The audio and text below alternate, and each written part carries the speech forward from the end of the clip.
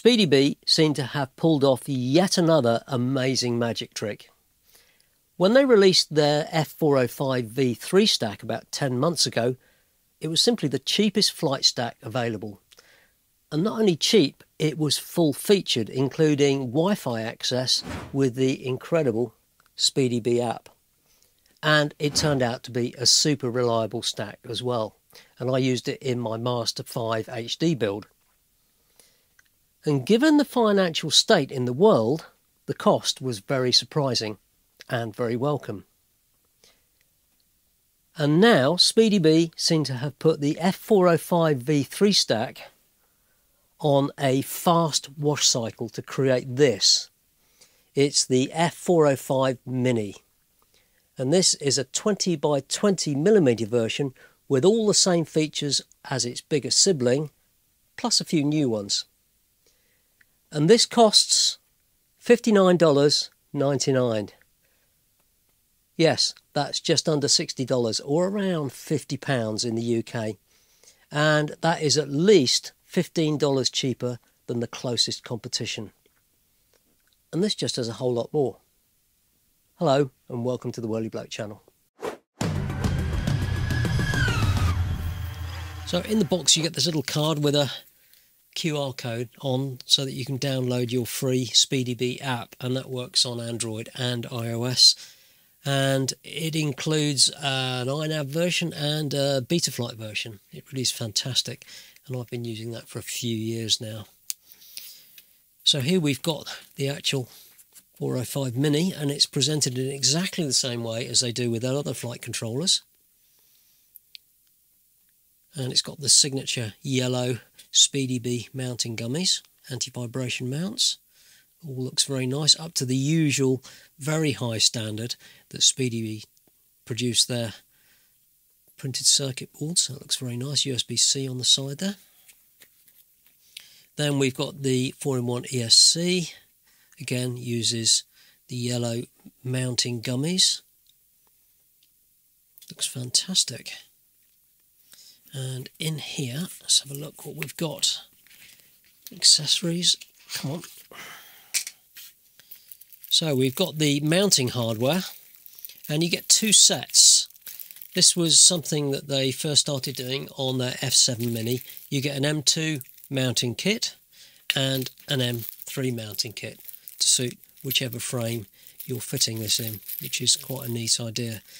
And you get all the different matching sets of gummies to cope with the different sizes.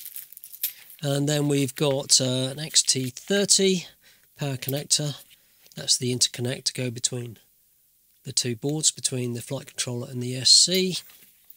And we've got the low, low ESR noise suppression capacitor.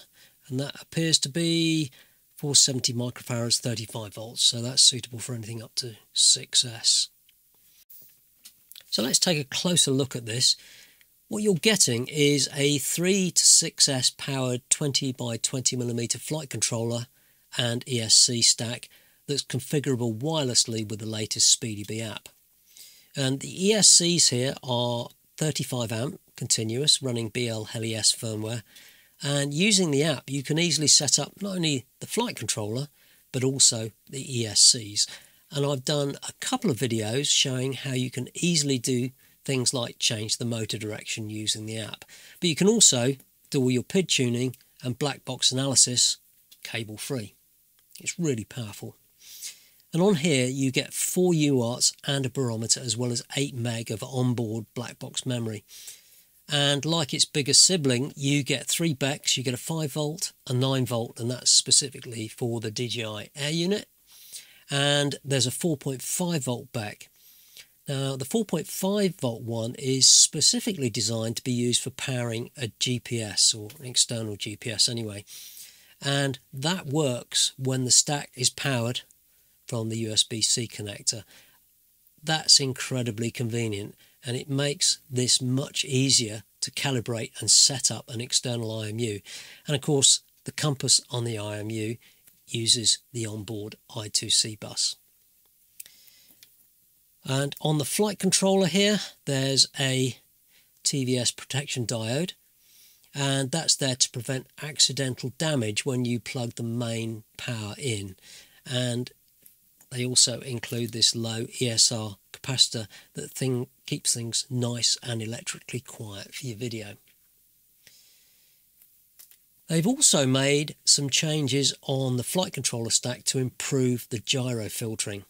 Now this has got a MaxLinear LDO power supply chip that's independently powering the gyro and they've got some improved capacitor filtering using 100 microfarad tantalum capacitor. How does that improve things? Well, anything that insulates the gyro on here from external noise caused by the quad, either electrically or mechanically induced, will make tuning the PIDs and quad just much easier. And of course, this is helped by using a low resonance frame, but anything that's built into the flight controller to reduce noise further is a great design feature. Looking at this comparison matrix shows just how well the F405 Mini does against its immediate competition. And it's not just the cost that they've got as a competitive advantage, it's the features as well. And it's become pretty clear over the last few years, SpeedyBee has produced a fantastic range of flight stacks that have proven to be super reliable. And I know because I've used them in most of my builds recently and they pride themselves on both their products' form and function. They always look great and the build quality is excellent. And I know from direct experience, SpeedyBee are very proactive and responsive when they're working with the FPV community. And more importantly, when they're working with the Betaflight and iNav developers to build what we need at very sensible prices. And it's no wonder they're now seen to be the flight stack of choice for many of us in the world of mini quads. Now, this may be a mini stack and cost only $60, and you might think is targeted at sub 4 inch quads, but I think this has got enough grunt for 5 or even 7 inch quads. It's certainly got the power and the features. And just think how much space you'd have left inside your 7 inch long range quad if you use this. Now, these are available on pre order August 2023 direct from the SpeedyBee website. And I'm lucky enough that SpeedyBee kindly sent me this one for review. So I'm going to work out which build I'm going to test this in. But I suspect this will become extremely popular at that price. So you may want to get your pre-order in now. And incidentally, I previously ordered direct from SpeedyBee and their service is excellent. Delivery to the UK only takes about a week. Anyway, do let me know what you think of this in the comments. Hit like and subscribe. Thanks for watching and I'll see you next time.